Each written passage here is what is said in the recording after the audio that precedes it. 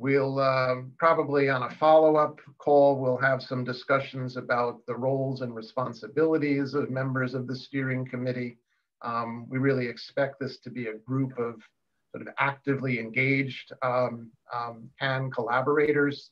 Um, and uh, we'll be participating in um, helping to shore up some of the sort of foundational um, components of, of how the KAN is administered and how the KAN is, is governed.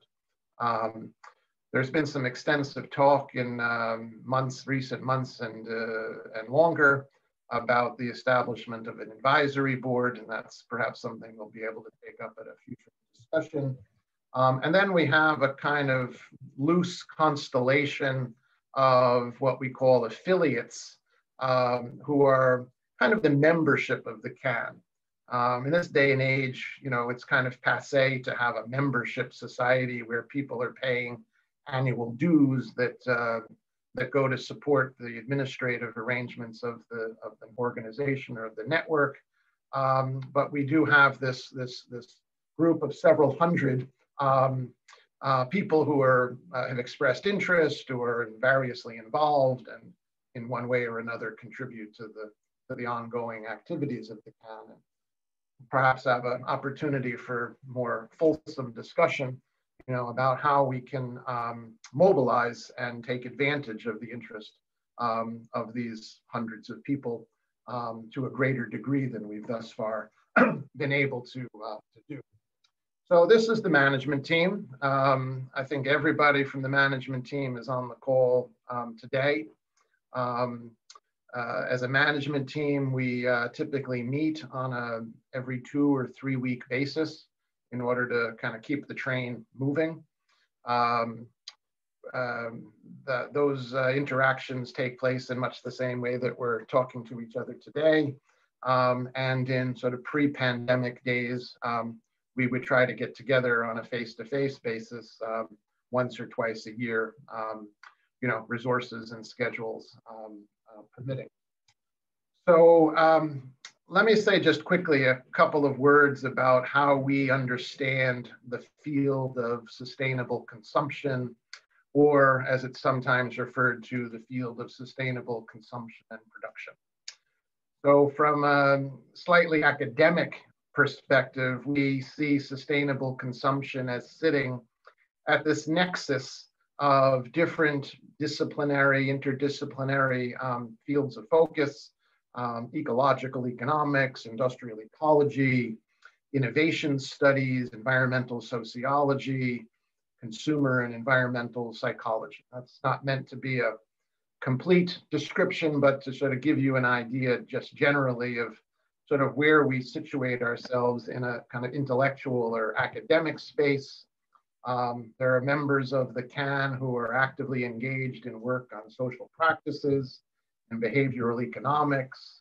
Um, there are folks who have a keen interest in degrowth and secular stagnation, um, material flows and circular economy, uh, decoupling, dematerialization, consumption-based greenhouse gas accounting, um, sustainable lifestyles and social innovation, and knowledge brokerage. Um, oh, as well as sustain sustainable system innovations. This you can see is an extraordinarily complex array of areas of interest and, uh, and expertise. Um, a focus on socio-technical innovations um, is, um, is at the heart of, uh, of our understanding of sustainable consumption. And then sort of floating above it all is this uh, emergent emphasis on efficiency um, as a complement to um, sort of the age-old emphasis on efficiency. Um, another um, sort of uh, supplementary typology sort of breaks the field down into a focus on agro-food systems, transportation and mobility, built environment, uh, energy, and uh, emergent focus on the role of finance and the financial industry in, um, in underpinning um, consumerist um, lifestyles and perhaps um, creating opportunities for social change. And then another cluster is over on the left side of this diagram uh, comprising an emphasis on standards and accreditation, new business models, ethics, and marketing. So again, this isn't meant to be complete, but at least to kind of position um, where, how we um, sort of find our way in the world. Um, I would encourage those of you who haven't had a chance to do so yet to spend some time um, traveling around on the KAN website. Um, again, the KAN has been in operation for now five years. We were established in 2016. Um, and um, there is a wealth of, of, of material um, that charts the path that we've been traveling over that period of time that's available on the website.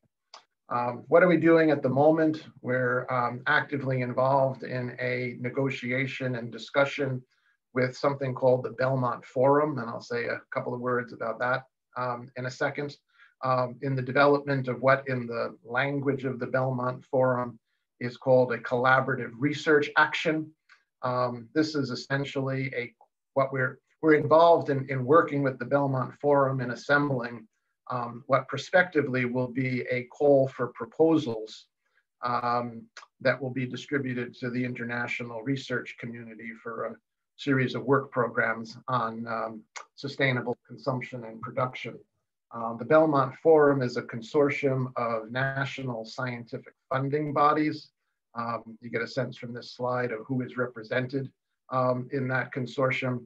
Um, and it's an innovative organizational form for national science councils to pool their resources and to fund projects that would be without that would be outside of the scope of any individual national funding body, say the National Science Foundation or the Japanese Science and Technology um, Organization. Um, so it's not as an international body, it's not always the most nimble um, and it's uh, responsive to complex uh, political impulses, um, but nonetheless, uh, it does provide an um, important source of, of, financial support. Um, we've also had a series of projects that were launched in the early, early days of uh, the current pandemic on um, COVID-19 and sustainability transitions. Um, we're uh, actively involved in preparing and participating in um, Future Earth's um, um, annual conference um, that's being was due to be held last year in Brisbane. That was canceled, um, and it's now being um, will be held in June of this year, uh, both in a, a, physical sense in Brisbane as well as as virtually.